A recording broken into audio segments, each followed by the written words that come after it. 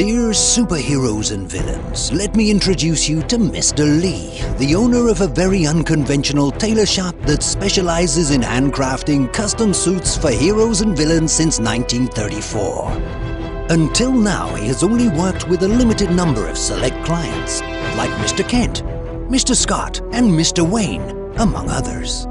However, thanks to the new PlayStation 3 game, DC Universe Online, you can create your own superhero or villain by choosing your powers, abilities, and of course your custom suit, so you can fight side by side with your heroes and become the next legend. In Mr. Lee's tailor shop, you can make your suit a reality and can live the same experience as the game in the offline world. The suits are handmade with exclusive materials, and the secret identity of our clients is always respected.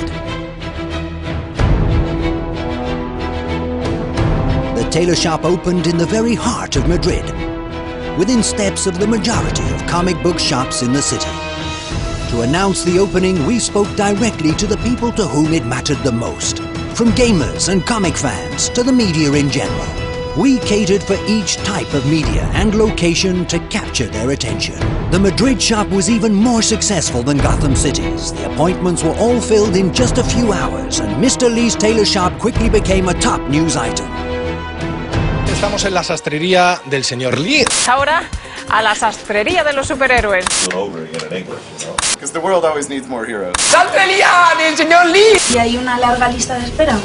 Sí. y el traje queda listo para su confección.